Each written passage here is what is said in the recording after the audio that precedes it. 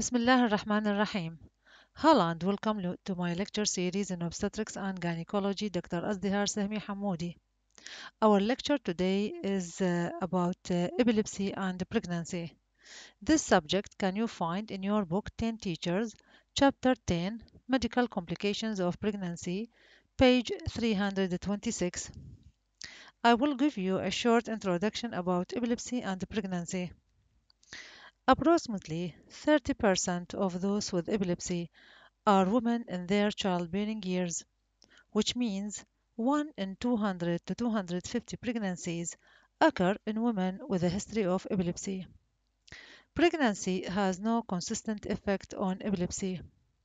Some women will have an increased frequency of fits, others a decrease, and some no difference.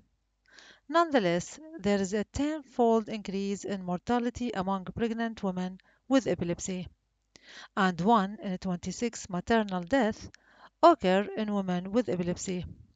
The principles of epilepsy management are that while the risks to a pregnancy from seizures outweigh those from anticonvulsant medication, seizures should still be controlled with the minimum possible dose of the optimal drug.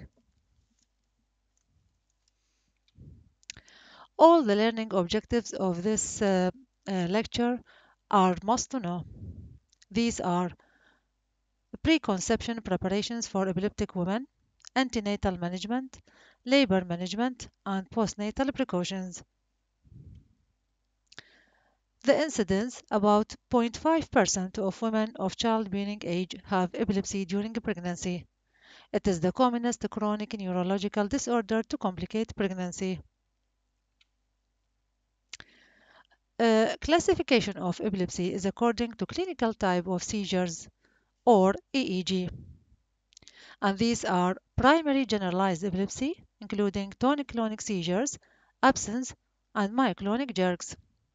The partial seizure, which is focal type, with or without loss of consciousness, or sometimes start as focal and then generalized, and this is called complex partial seizures. The third and last one called temporal lobe seizures.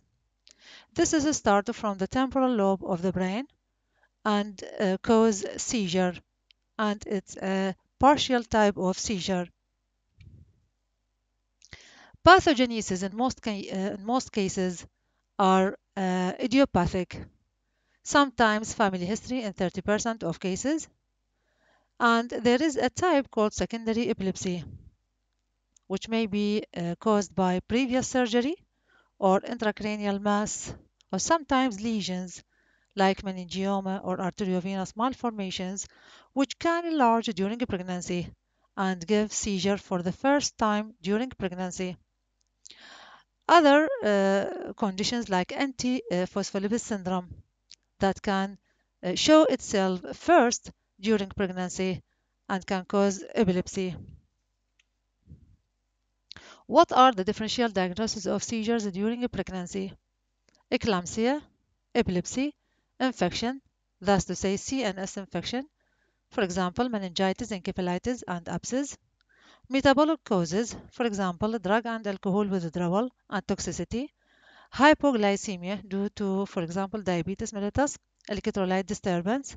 Severe hypoxia, space occupying lesion, and vascular causes like cerebral vein thrombosis, thrombotic thrombocytopenic purpura, and CVA with cerebral infarction or hemorrhage.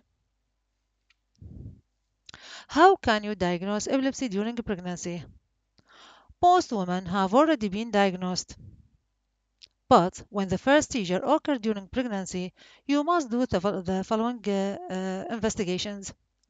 Blood pressure, urine analysis, uric acid, platelets, and clotic uh, coagulation screen and blood film to exclude coagulation disorders and hypertension. Blood glucose, serum electrolytes, and liver function tests to, uh, to exclude metabolic causes. CT MRI of the brain. Although they are not necessarily recommended when first seizure occur in non-pregnant uh, women, but when the first seizure occur in pregnant women, it is uh, important to do to exclude other causes. Also, it's important to do EEG. What is the effect of pregnancy on epilepsy? In most women, pregnancy does not affect the frequency of seizures. There is a European study for uh, seizure frequency. They uh, shows that in 50% uh, of cases, seizure frequency is unchanged. It increases in 37% of cases and decreases in 13% of cases. Deterioration in pregnancy of uh, epilepsy uh, may be due to poorly controlled epilepsy, those or those who stop medication with poor compliance, those whose seizure frequency exceeds once per month, or those with multiple seizure type, thus to say a complex type of epilepsy. The risk of seizures is highest peripartum. About 3.5% of pregnancies complicated with seizure, seizure intrapartum. What are the reasons for deterioration of seizure and seizure control during pregnancy? Maybe the pregnancy itself, poor compliance with anticonvulsant medications because the patients fear uh, from medications because of teratogenicity of these drugs, anticonvulsant drugs, decreased drug level, especially in the first trimester because of nausea and vomiting, decrease free drug levels because of the effect of pregnancy on the metabolism of antiepileptic drugs, lack of sleep and stress cause increased risk of seizures, lack of absorption during labor uh, because of uh, uh, uh decrease in absorption from GIT, and also because of hyperventilation. What is the effect of epilepsy on pregnancy and fetus? Relatively, the uh, short episode of hypoxia during uh, tonic-clonic convulsion of the uh, mother will, uh, especially when it is a single seizure, will not affect the seizure, uh, the fetus in the future. Uh, also, the short period of bradycardia du during maternal tonic-clonic convulsion uh, not will not affect the cerebral damage, will not affect the fetus, and it will co not cause cerebral damage long term uh, uh, measuring. There will be no increased risk of miscarriage, only if the uh, seizure cause uh, abdominal trauma. There will be, however, increased risk of congenital abnormalities because of the teratogenicity of the anticonvulsant drugs especially when the patient uses more than one drug or high doses of drugs. This will cause what, uh, what is called fetal anticonvulsant syndrome. There will be risk for neonatal withdrawal. There will be risk for vitamin K deficiency because of enzyme inducers drugs, anticonvulsant drugs. There will be risk for developmental delay and behavioral problems. If the epilepsy complicated by what is called status epilepticus, this will be dangerous for both the mother and the fetus and should be treated vigorously. The incidence of this uh, between uh, less than 1 to 2.5%. Anti-epileptic drugs. All anti-epileptic uh, drugs are teratogenic. They cross placenta with varying risk of congenital abnormalities. These are of two groups, enzyme-inducing anticonvulsants like carbamazepine, phenobarbital, phenytoin, and primidone, and non-enzyme inducers anticonvulsants, for example, sodium valproate, lamotrigine, gabapentin, and ethosuximide. Uh, we have uh, an uh, anti-epileptic drug which is called lamotrigine. It is a relatively uh, new drug uh, in comparison with the others. This drug uh, level fell rapidly during pregnancy and may cause, in many cases, associated with decreased seizure activity, necessitating an increased dose. So, uh, while in majority of uh, cases, provided there is no increase in frequency of seizures, the uh, prenatal drug dose can be continued, thus to say, with other dra drugs rather than lamotrigine. What are the major malformations that caused by anti-epileptic drugs? Example, neural tube defect, particularly val valproate, increased tenfold risk. Orofacial cleft, this is particularly phenytoin, this uh, will uh, increase five-fold risk. and congenital heart defect, particularly phenytoin also. This slide show you uh, pictures uh, of what is called fetal anticonvulsant syndrome. There will be dysmorphic features, for example, V-shaped eyebrows, as you see in this slide and other uh, pictures. There will be low set ears, as you see here, broad nasal bridge and irregular teeth, broad nasal bridge and irregular teeth, as you see here. There will be hypertelorism, which is a, a, a wide area between the two eyes, and hypoplastic nails and digital distal digits, as you see in this picture. The hypoplasia of the midface could be a marker for cognitive dysfunction, as you see in this uh, child and also in this child. So, how can you manage a patient with epilepsy during pregnancy? First, and the most important one, is the pre-pregnancy counseling. First, you must involve a neurologist to confirm diagnosis of epilepsy, and then you must optimize the treatment, achieve seizure control, and explain the risk for recurrent seizures if the patient have no good compliance with medications. Use the least number of uh, drugs and the lowest effective dose to control seizures to minimize the uh, risk of congenital anomalies. Consider stopping the drug if seizure-free uh, patient two years or more. All women should take folic acid, the high dose 5 mg, for at least 12 weeks before conception and continue the whole pregnancy until delivery. This will decrease the risk for neural tube defects. The patient will ask you about the risk of epilepsy for her child. You will answer her at 4% if one parent affected and 15% risk if both, uh, both parents affected.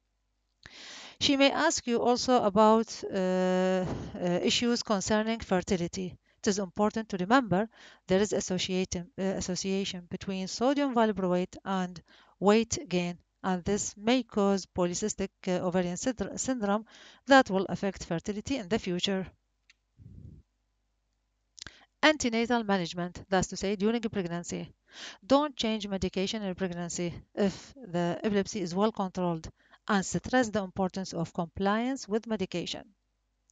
Prenatal screening, you will need alpha-fetoprotein, which is a protein uh, produced by the fetus and measured in the maternal uh, serum in the blood of the mother. If this alpha-fetoprotein is high in level, this will indicate a neural tube defect. If it is low, for example, it will indicate Down syndrome, and so on. Detailed anomaly scan, and this is important to uh, be done uh, in the uh, second trimester to detect facial cleft and cardiac abnormalities. Consider fetal echocardiography at 22 weeks of gestation. Consider vitamin uh, K 10 mg per day for the last four weeks of pregnancy. Uh, because of uh, hepatic, hepatic, hepatic enzymes inducers drugs that will affect the liver lead to neonatal coagulopathy.